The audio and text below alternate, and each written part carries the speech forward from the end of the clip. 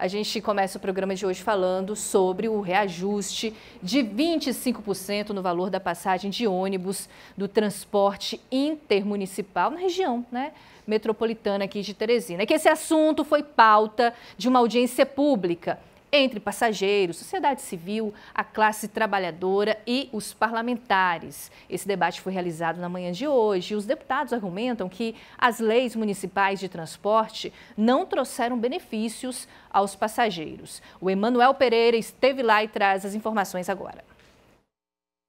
Pedro é aluno da rede estadual de ensino da cidade de Altos, a 38 quilômetros de Teresina. Frequentemente, o rapaz de 19 anos precisa usar o transporte intermunicipal para vir à capital. Ele também relata que familiares sempre vêm à cidade para tratar da saúde. Com o aumento do valor das passagens, a locomoção se tornou muito onerosa. A gente mesmo é estudante que quer fazer um curso aqui em Teresina ou algo do tipo, acaba que fica complicado porque vai gastar muito e acaba daquela economia que você ia fazer para comprar uma medicação ou alguma despesa de casa, acaba que vai gastar mais e não vai sobrar aquela, aquela economia que você tinha que fazer todo mês. Histórias semelhantes à de Pedro também ocorrem em Demerval Lobão, Campo Maior, União e José de Freitas.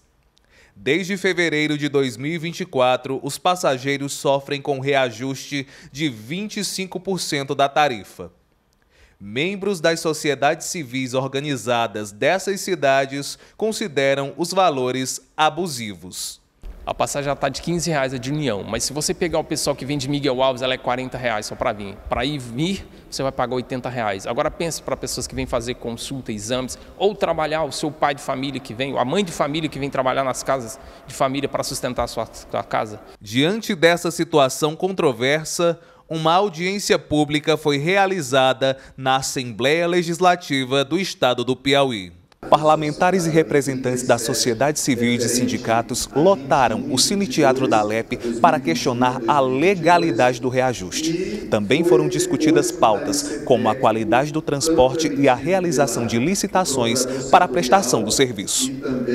É, existe uma lei que rege o transporte da Grande Teresina, que nós vamos agora debater na audiência pública e procurar entender se realmente está sendo cumprido aquilo que está na lei. Eu acho que não. O deputado Francisco Lima, do Partido dos Trabalhadores, foi um dos requerentes da audiência. O parlamentar argumenta que as leis municipais de transporte não trouxeram benefícios aos passageiros. É, quais são os índices que de fato são legais, que são pertinentes? Aqui já teve portaria que usou os índices adotados pela ANTT, Agência Nacional é, de Transporte Terrestre, já teve esse agora usou o, o IPCA, já teve outro que usou a inflação. Então, acho que não dá para ficar com essa, essa. Cada vez é um índice diferente. Então, a lei tem que fixar o que, que é razoável, não é? Se aquilo é compatível com a capacidade, inclusive com os reajustes salariais, não só dos trabalhadores do, centro, do sistema do setor de transporte, mas também da população e como é que fica a Grande Teresina. A previsão de mais um reajuste de 8% em junho. O deputado considera implementar um novo projeto de transporte intermunicipal. Eu acho que se ficar constatado que é, é, é a, que não está dentro dos parâmetros estabelecidos, eu acho que merece suspender ou não efetivar esse de junho ou deixar só para após é, as licitações. No entanto, o Sindicato dos Transportes Rodoviários, o Sintetro, teme pelo direito dos trabalhadores. Nossa preocupação é porque a gente tem na, na nossa convenção que garante a esses trabalhadores uma estabilidade daqueles trabalhadores que estão perto de se aposentar que é esses dois anos. E a gente está achando que essa licitação ela, ela, vai acontecer de uma forma muito apressada. Os trabalhadores trabalham em empresas. Uma vez que aconteça a licitação e outras empresas possam operar nessas linhas, a empresa que perdeu a licitação ela vai ter que arcar com as rescisões e os direitos trabalhistas dessa empresa. Não tem nada a ver. Isso aí funciona. A lei é para todos.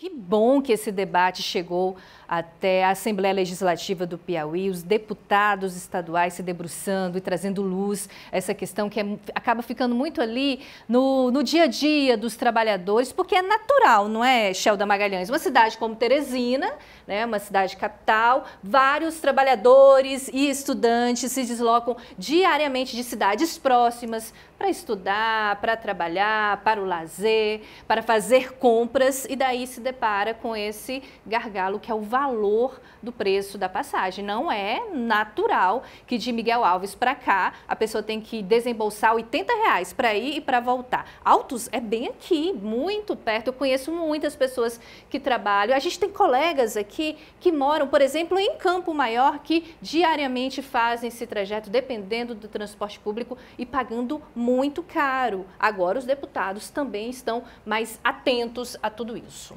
Exatamente, acaba sendo um efeito em cadeia, né? Sayuri Sato, porque a gente mexe diretamente na economia, porque são muitas famílias de Altos, é, de Miguel Alves, de Campo Maior que precisam todos os dias estar em Teresina para sobreviver, para manter os seus empregos. Então, a preocupação nesse momento da Assembleia Legislativa é em evitar um novo reajuste aí na casa de 7% no valor dessas passagens intermunicipais. E existe também uma iniciativa de tentar subsidiar para estudantes e trabalhadores, que são essas pessoas que de fato têm um vínculo reconhecido com o município de Teresina e que podem sofrer aí um dano financeiro e econômico muito maior.